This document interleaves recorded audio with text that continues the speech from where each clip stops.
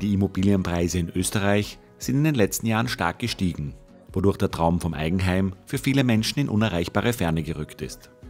Die KIM-Verordnung, steigende Baupreise und das aktuelle Zinsniveau sind Herausforderungen für die Immobilienwirtschaft. Natürlich ist die KIM-Verordnung ein wesentlicher Treiber, dass die Eigentumsnachfrage zurückgegangen ist. Aber ich glaube, wir sind in einem toxischen Cocktail zwischen Zinsen, gestiegenen Preisen und der KIM-Verordnung.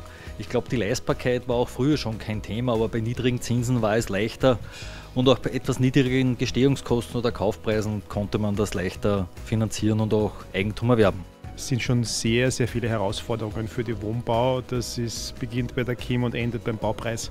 Also das ist nicht nur ein Thema, das sind mehrere, das pendelt sich jetzt einmal gerade ein. Es werden ein paar Faktoren überbleiben, auf die dauerhaft zu reagieren ist. Und da muss man sich einfach da anpassen als Entwickler, aber das wäre nicht das erste Mal. Durch die Förderung des sozialen Wohnbaus, die Bereitstellung von günstigem Bauland und die Unterstützung von Projekten, die bezahlbares Wohneigentum schaffen, kann die Politik ihren Beitrag leisten. Wir haben einen sehr starken sozialen Wohnbau in Österreich. Der soll auch eben seine, ähm, seine Strukturen sozusagen auch wieder ausspielen können. Und ähm, so, glaube ich, ist es ganz wichtig, dass alle ihre Aufgaben einerseits übernehmen, wahrnehmen. Und äh, man muss eben aber auch schauen, dass eben Investments sich wieder tragen. Das heißt, auch vermieten muss leistbar bleiben. Ein Thema ist natürlich, äh, dadurch, dass wir frei finanziert und in vielen Bundesländern gibt es eben diese Einschränkung, dass nur die Gemeinnützigen gefördert werden können. Kommt da natürlich durch die, durch die Förderung der Bundesländer dann dementsprechend eine Unterstützung. Ja. Die Nachfrage nach Wohnraum bleibt weiterhin hoch. Eine enorme Nachfrage nach Mietwohnungen besteht in ganz Österreich. Ich finde es aber per se nicht schlechtes, wenn äh, der Mietanteil steigt. Äh, nur muss in beiden Segmenten Eigentum wie Miete ausreichendes Angebot geschaffen werden, weil das ist die beste preisdämpfende Wirkung.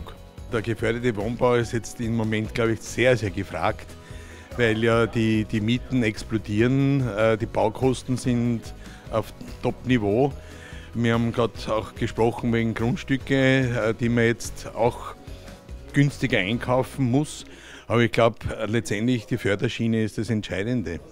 Ohne der richtigen Förderung wird man sehr schwer jetzt weiterkommen. Die Ankündigung der Politik, Stichwort Bau- und Wohnbaupaket, bzw. Entlastung bei Wohneigentum werden von der Immobilienwirtschaft sehr begrüßt.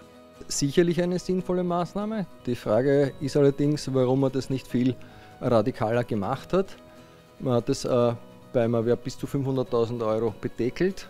Das macht bei der Gebühr äh, fürs Eigentum und für, den, für die Eintragung des Pfandes in Summe dann 11.500 Euro aus.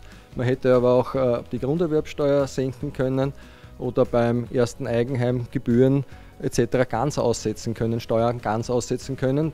Der Weg zu mehr Wohneigentum wird derzeit auf vielen Ebenen diskutiert. Politische Maßnahmen, finanzielle Anreize und innovative Wohnmodelle sind notwendig, um das Ziel von mehr Wohneigentum zu erreichen.